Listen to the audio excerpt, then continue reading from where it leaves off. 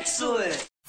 What's up guys, welcome back to Paul's Hardware. Today's video is pretty straightforward. I am benchmarking the new Kaby Lake processors. Not just one, but two, the top two SKUs that have just launched the uh, 7600K, which is a quad core without hyperthreading, and the 7700K, which is a quad core with hyperthreading. I'm going to be comparing them to their, their direct counterparts on the Skylake side, so the 6600K and 6700K. I have six benchmark sets. I'm going to run through. Three of them are more CPU workload focused, and three of them are more gaming focused. So let's start by going over the test bed that I'm using right here to test this all out on. And this has been done in an open air environment um, for the sake of expediency.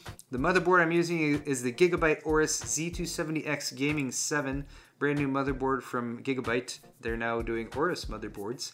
Uh, the memory is Corsair Vengeance 2x8 gig kit. I'm just running it at stock 2133 speed for the tests. For the graphics card, I have a Gigabyte GTX 1080 Extreme Gaming. Uh, this one is manufacturer overclocked, but I'm just leaving it at the standard settings as it came out of the box from Gigabyte. For a CPU cooler, since these CPUs don't ship with one, I'm using an Enermax ETS T40B. Uh, this one is nice because it has a fixed backplate once it's on there, so it made it easier for me to remove it to swap the CPUs out as I was going along.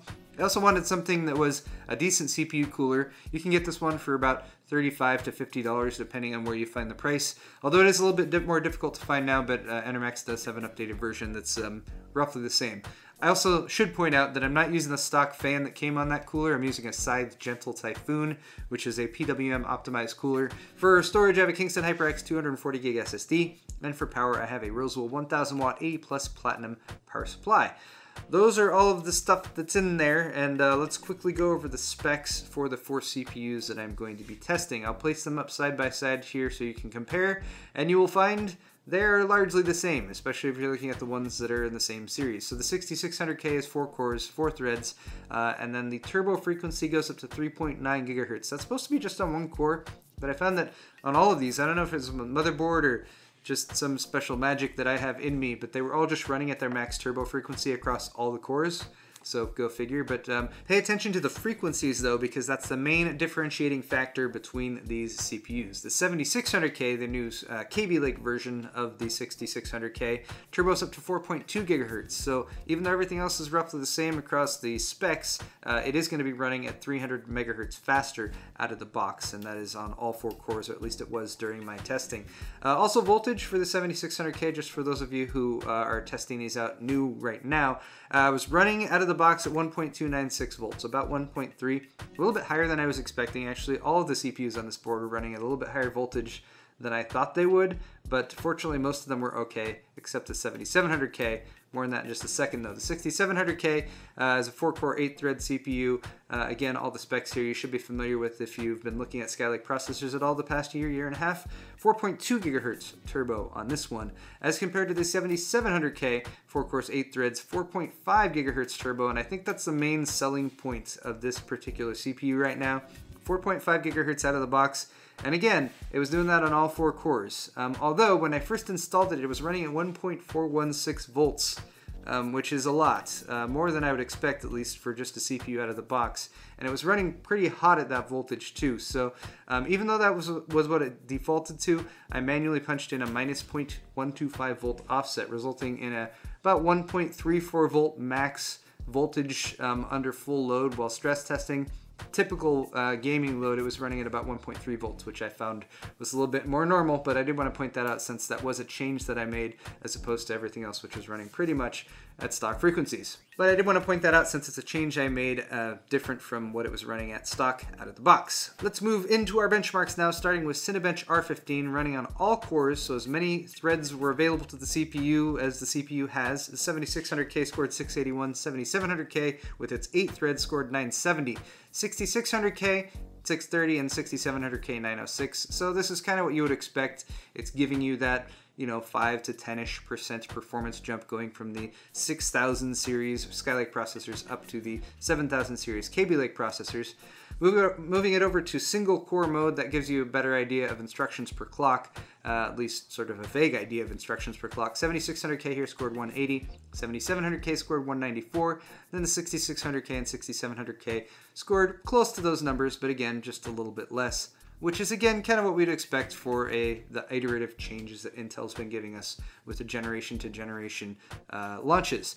CPU mark is part of the Passmark suite, but specifically tests the CPU. Overall scores are listed here: uh, 7700K and 6700K scoring up around 12,000, uh, with again the 7700K and 7600K outperforming by somewhere in the 5 to 10% range, depending on how accurately you do your math. CPU Mark has a single core test as well, and here I want to point out the similarity between the 7600K and the 6700K, scoring within 5 points of each other.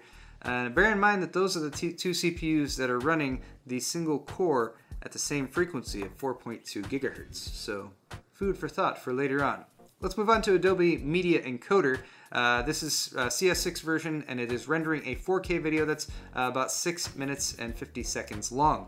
Uh, for the 7600K, it took 27 minutes. 7700K took 23 minutes. 6600K took about 28 minutes. And uh, the 6700K took about 24 minutes. Again, uh, we're seeing differences here that uh, fall in line with what we'd expect, given that the 7700K and 6700K have four more threads to work with. And of course, the other differences can mainly be uh, explained by looking at those clock speeds. Let's move over to the gaming benchmarks though, starting off with 3D Mark Firestrike Extreme, which runs GPU intensive workloads, as well as some physics tests that gives us more of an idea of the CPU's performance. Now the graphics performance across all these tests should be pretty much the same, since I'm using the same GPU with no changes. 7600K scored 9740 overall. Take a look at that physics score of 9387 and you can compare that to the physics scores of the other CPUs such as the 7700K scoring 14300, the 6600K scoring 8700, and the 6700K scoring 10226. And uh, again, if you're looking at those combined tests or the overall tests, you'll find that they even out a lot more. It's mainly looking at that physics test that's going to give you the difference um, because that is primarily where the CPU is going to make a difference with this particular benchmark.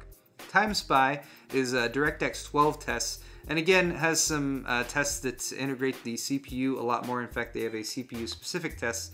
So again, here overall, we're not going to see a huge variance. They're all within about two, three, 400 points of each other. Uh, again, that's largely due to the fact that it's using the same GTX 1080 uh, GPU. But with that CPU test, we can see the performance again fall it's pretty much the same kind of layout that we saw with all of the other tests. And if you're not noticing the trend here already, the trend is that if you look at the frequencies, that will kind of tell you what the uh, performance is going to be. And this is also why, don't worry, I decided to overclock as well. Um, and I'll be coming to those tests in a minute. But first, GTA 5. This is using my standard tests with maximum settings, running at 1920 by 1080, so it puts a little bit more of the load on the CPU as opposed to the GPU.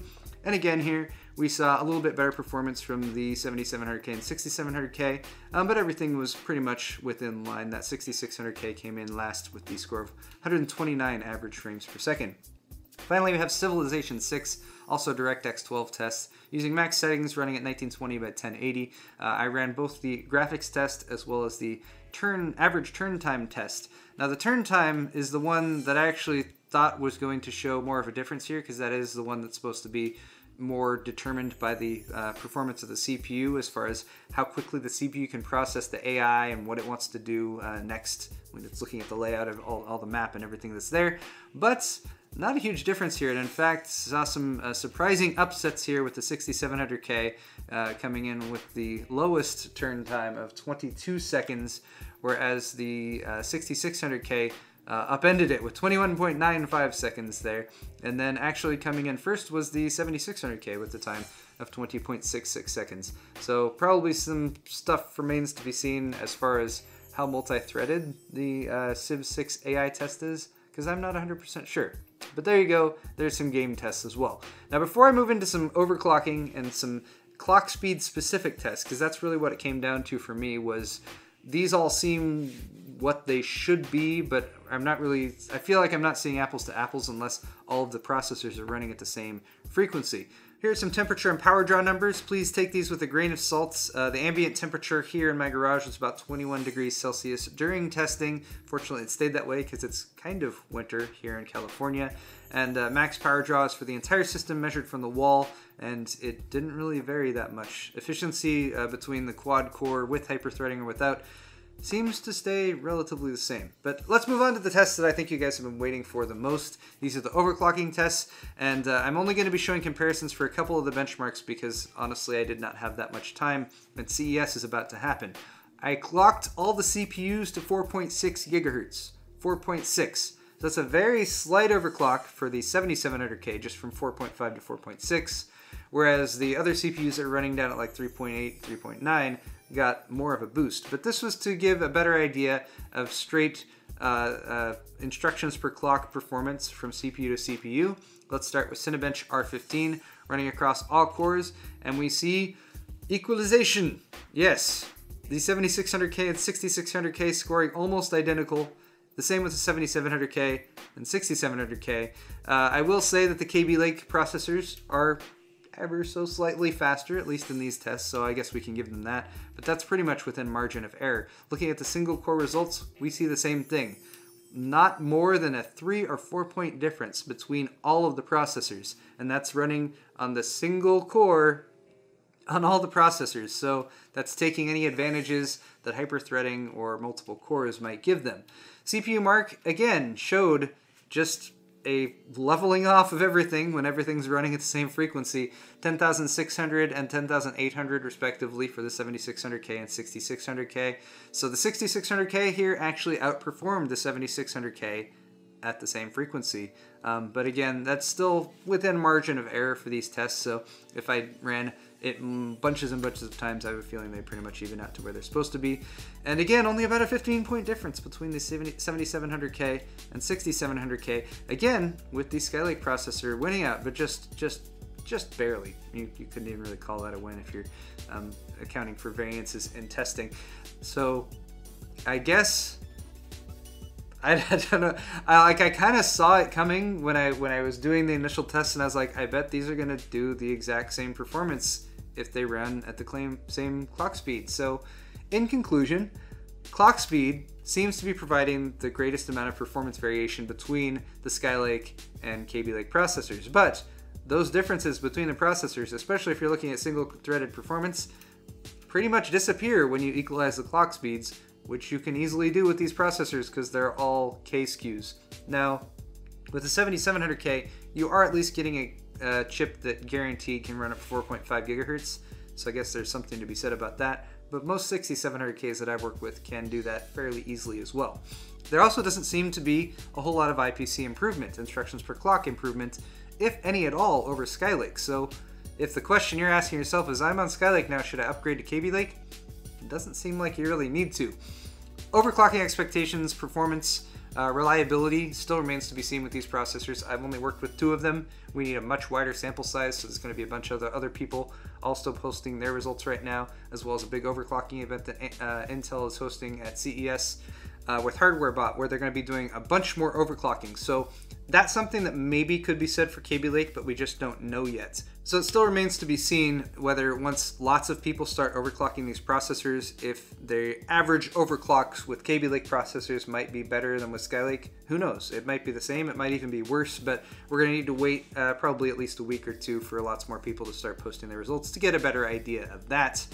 So to sum up, I wanted to point out that usually going from one generation of CPU to the next with Intel, you expect to see maybe a 5 to 15% performance improvement on an instructions per clock level for that new generation, but Kaby Lake just doesn't really seem to have that. That leaves the other stuff to be your main motivations to upgrade, like new motherboard features, and there are a few of those that I talked about in my uh, first five things you need to know about Kaby Lake video. You should uh, click on that, it's linked. Um, but also there's those tiered features that they're blocking people out of, like support for Optane or 4K streaming, um, which honestly feels more like they're purposely locked. It's like it's like that you need to have Windows 10 to run DirectX 12. You know, it's like they don't have to do that. They're just doing that to force people onto the new platform or into buying new stuff. Honestly, though, what I really want to see is what kind of pricing changes or other shakeups happen in the CPU marketplace when Ryzen goes on sale. AMD's promised competitor for Intel, which is supposed to happen in Q1, but apparently not quite yet. That's all for this video though guys. Don't forget to hit the like button if you enjoyed it. Uh, you can also share this video with other people if you know anyone who's interested in Kaby Lake and particularly some Kaby Lake benchmarks because Lord knows these took a decent amount of time, and uh, your feedback and likes and all that good stuff always helps. Subscribe to my channel if you're not already. Comment in the comment section down below. Let me know what you think of this launch and what exciting uh, hardware you're excited about having launch in 2017. I've talked enough for this video already. Thanks for watching, and we'll see you next time.